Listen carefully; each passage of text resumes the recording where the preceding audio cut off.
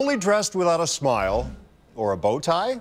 We spent some time with a special group of people today who are focused on helping young men in Cleveland grow up confident. Our Tara Molina has the story tied up in a bow for us. Flashy accessories laid out, Bridget Smith explained all of this is about so much more than a tie. They want to help Cleveland's young men. Look, Miss Bridget, look at my tie. I'm a gentleman. When I wear a tie, I'm a gentleman.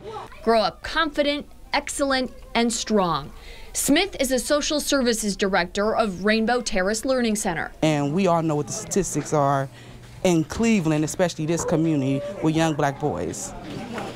I, I want to give each boy at least five ties. I was hoping to get more boys, bow ties, but we didn't get many, um, and teach them how to tie the tie and incorporate that as part of their dress code. Cleveland police took her idea and ran with it helping with a tie drive for donations. If one tie makes a difference and changes one life, then I'm, I'm, I'm happy to do it. I think the tie concept is a good idea for the young man. The pink, blue, purple, and black means something more. The tie isn't just a material to them.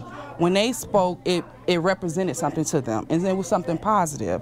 And so I'm hoping that this will promote excellence among the young boys. What may seem small is brightening the lives of many and changing the way some young men see themselves and what their future can hold.